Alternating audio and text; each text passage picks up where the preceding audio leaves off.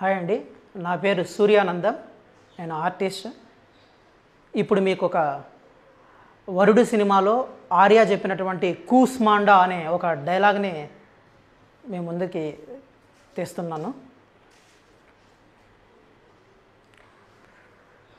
ఈ కాపాలికుడు ప్రళయాగ్నే హారతిగా పూజించే మహాద్రష్ట అమరత్వం పొందుటకు అమృతం తాగలేదని అర్హత లేదందురా. అమృతం తాగిన సమస్త దేవతలు ప్రళయంలో నశిస్తారు. కానీ మహాకాలకూట విషయాన్ని కంటాన దిగమింగిన శివుడు మాత్రం మృత్యు దొంగ. మృత్యువుకే శత్రువు. ఆ శివుడే చిరంజీవి. కూస్మాండ ఒక్క కంఠంలో విషం దాచిన శివుడే అమరుడైతే నేనెందుకు కారాదు?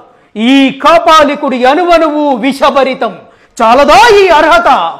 అభిషరాని శర్వాణి మంత్ర యంత్రాన్ని భూచర కేచర ఉపదేశీ కటాకిని శాకిని యక్షగంధర్వ రాక్షస బ్రహ్మరాక్షస బేటాల కూస్మాండ శక్తులారా చాటించండి.